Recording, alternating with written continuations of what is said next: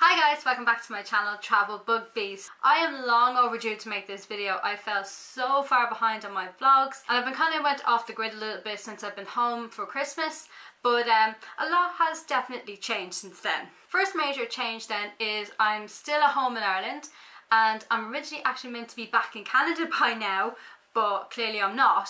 But this was by choice and uh, basically I was meant to fly back to Vancouver on the 30th because I had booked a return flight but it kind of came close to the 30th and I was not ready to go back. I felt like I hadn't seen everybody and I really felt like two weeks was not long enough to be home. And to be honest, I had nothing in Vancouver to go back to. I had no job, I had no house, I had nothing. And uh, basically I had booked a few nights in Victoria over the New Year's but then I was kind of thinking, what's the point in spending New Year's all by myself? Because all my friends were in Whistler, it was just too expensive to spend New Year's there. So I made a decision, then I decided to purposely miss my flight back to Vancouver and spend a bit more time here at home. But don't worry, that's not the end of my Canada days. I am heading back to Canada next week actually, but this time I'm going to Toronto, which is on the other side of Canada, and um, I'm still not fully sure of the plan there yet. I'm kind of half thinking, do I backpack it till I run out of money or do I work there for a little bit and then save up for other adventures?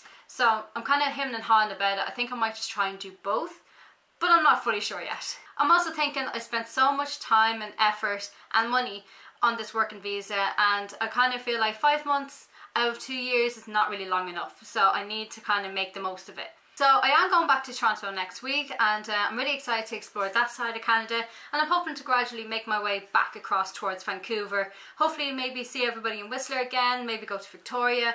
Who knows what this year will bring. The last three months of last year was a bit of a mad one. In the space of the three months I've been to Seattle, LA, Orlando and I flew back home as well.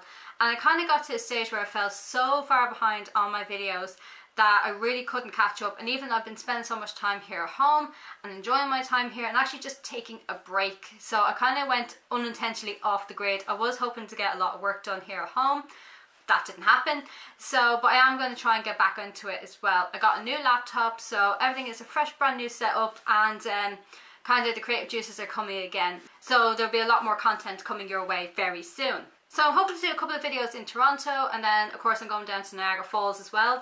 From there kind of the plan is uncertain at the minute but I'm kind of just going with the flow and see what happens. I want to go to Ottawa, I want to go to Prince Edward Island, over towards Nova Scotia and also make my way across towards um, towards Montreal, Banff and then back to Vancouver. I do have it in my head that I want to come back to Europe, maybe Interrail for a little bit but also I'm half thinking as well about going somewhere else completely new. I really don't know, it's just this whole year is not planned. There's no trips planned and everything is just uncertain but sometimes that's not a bad thing and I'm going to just go with it and see where this year takes me. I am also hoping to start up a blog this year. I've been talking about it for months and hadn't really gotten around to it. I had tried to write up a few sample posts, but I don't actually, I'm trying to figure out on how to get started on that. So if it is something that you're interested in or if it's something that you currently do, give us some tips or anything like that, you can contact me via private message on my social medias or leave a comment down below. So this year I'm really kind of taking it as a go with the flow kind of year